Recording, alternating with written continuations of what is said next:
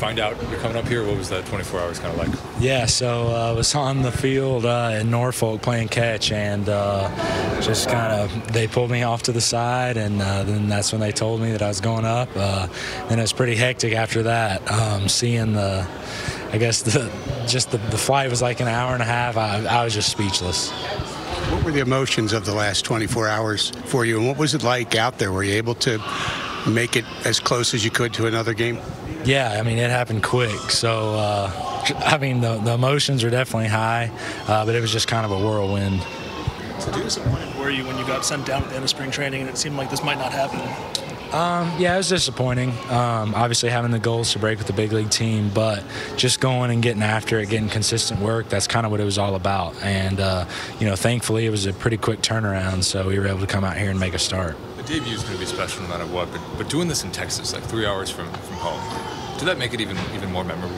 Yeah, so I, I, mean, I grew up watching the Texas Rangers. Uh, you know, a lot of memories at the old ballpark. Um, you know, getting to come and throw here uh, is pretty special How much did you appreciate just having all that support here today? Uh, yeah, it was a lot of fun having friends and family, uh, especially being able to be so close, uh, having everybody out. Question, why were the results better today than spring training for you?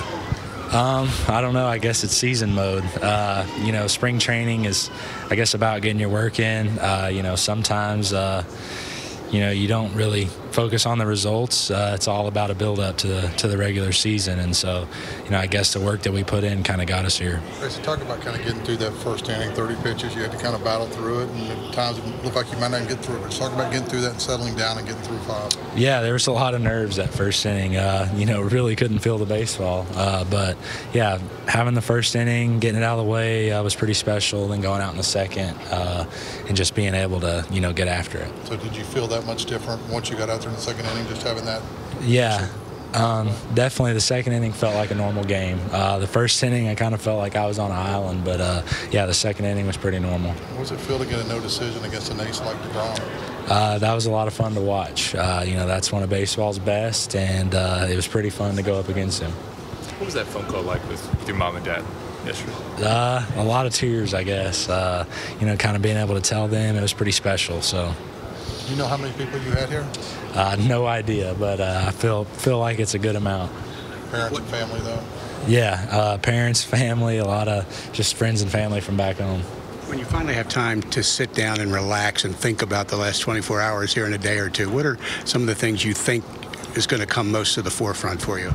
Uh, I don't know. I mean, you know, it just happened really quick. Uh, just kind of having the friends and family here that'll that'll be the special part talked about that first inning. Of course, in spring training, there were a few innings there that did unravel and got away from you. How nice was it when you got that ground out to get out of that inning?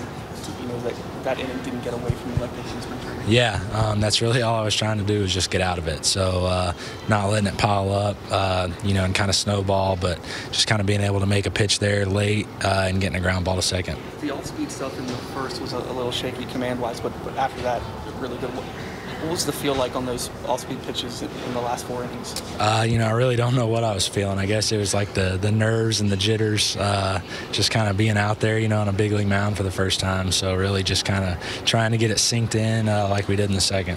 Through 97 to get Seager there with that last pitch of yours. How good does that feel with, with a guy of that stature striking him out?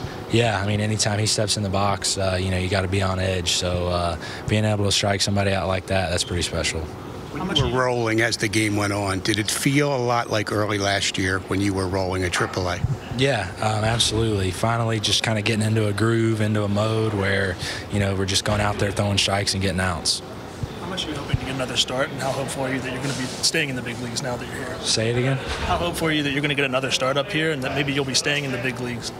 Um, you know, really just whatever they tell me. Uh, if, if they want to give me another start, I'll be ready for it.